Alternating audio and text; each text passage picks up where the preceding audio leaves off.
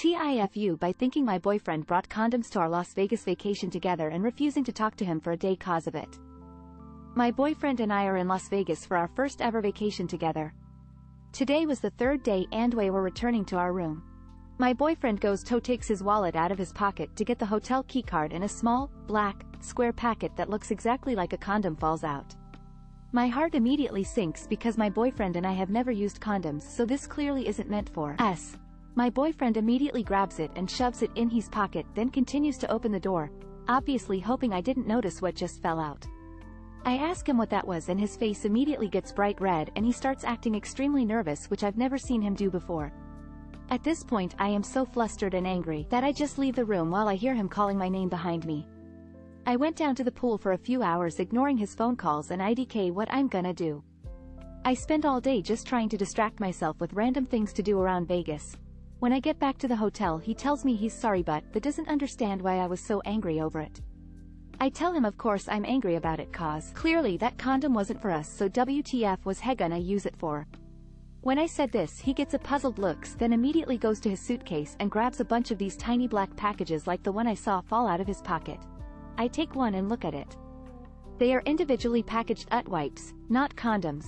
He said he's been having really bad diarrhea the last couple days and snuck off to buy these at one of the convenience stores in the hotel, but got really embarrassed in the moment when it fell out.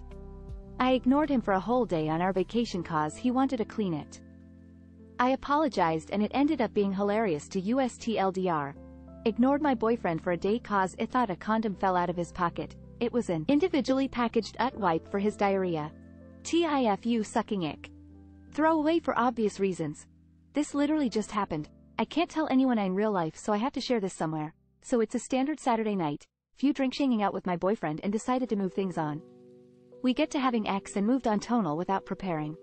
It's a fantasy of his that I lick his ick afterwards, which I don't have issue with, and have done before when we're in the mood, and drunk. So I gave it one long lick when done, and could feel something like a hair in my mouth. Pulled it out with my finger, turns out it was a worm. Awking worm? Probably worth mentioning that I work with kids so this is a thing I have to deal with semi-regularly. Kids get worms all the time. This is the grossest thing that's ever happened Tome and we just discovered the biggest mood killer that can exist. Now just sat here both of us grossing out. TL. DR had null with my boyfriend, licked him after and got a parasitic worm in my mouth. TIFU by telling my daughter her GF is my ex. So I, 40M, have a daughter, 21F, who started dating her partner, 30F, about a month ago. She called me to tell me about this new encounter when they went in her first date. Her mother has not been in the picture since she was an infant, so me and my daughter are very close, and now that she is am adult, I can proudly say we have a great bond. She has always been hardworking and after graduating high school, she decided to start working before choosing a college. About six months ago she moved out on her own. About a year ago I met this woman in a bar, we had a few drinks and we ended up at her place. Things went well and after a few dates I decided to lay down what I wanted in a relationship. We discussed it and she wanted to have a kid, but I already had the pleasure of raising my daughter, and was unwilling to do it again. So we decided to break it off. I never told my daughter because it wasn't anything serious. Well, a month ago I got a call from my daughter telling me she went on an amazing date with a woman who she instantly connected with. I was happy for her, and wished her the best with future encounters. Well, after a few weeks and several dates, they decided to make it official. So me daughter changed her relationship status on F-Band posted a picture of her and my ex.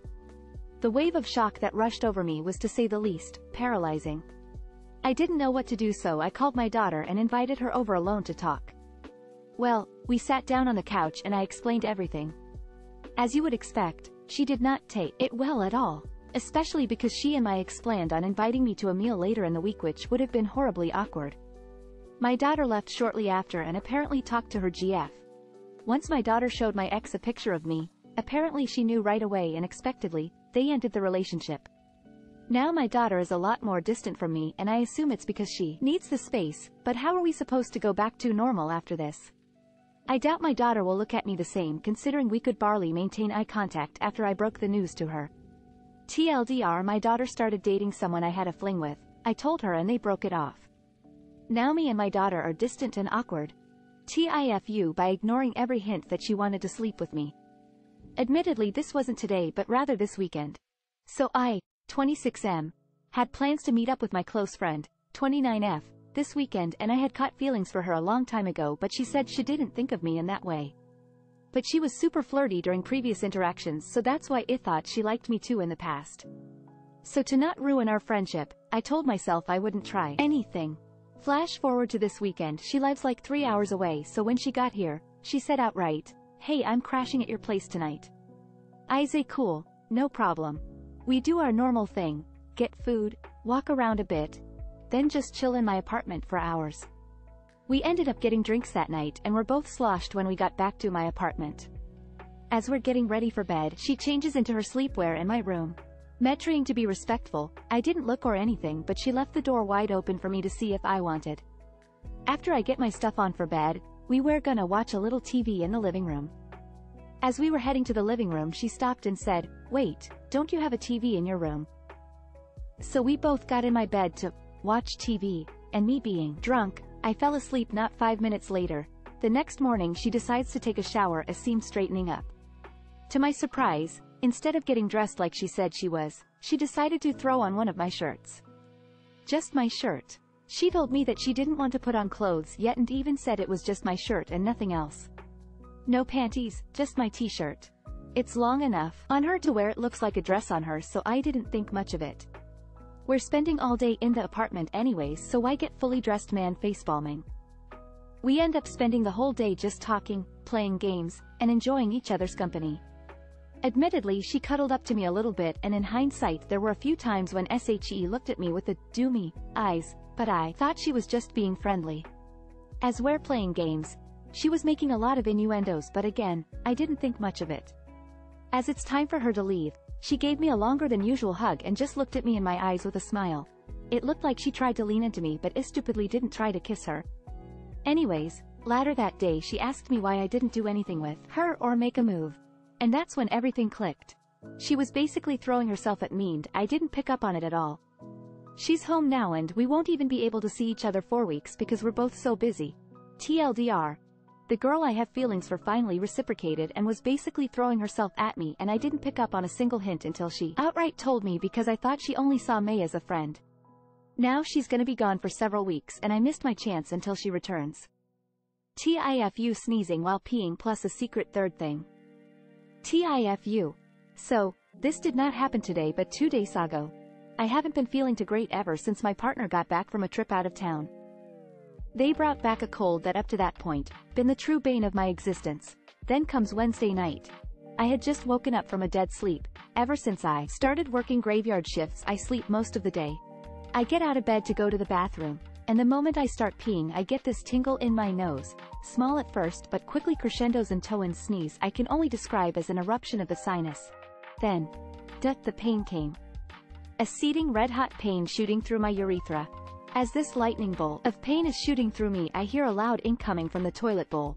Come to find out I had a looming kidney stone stuck in my urethra and that sneeze is all it took to dislodge it.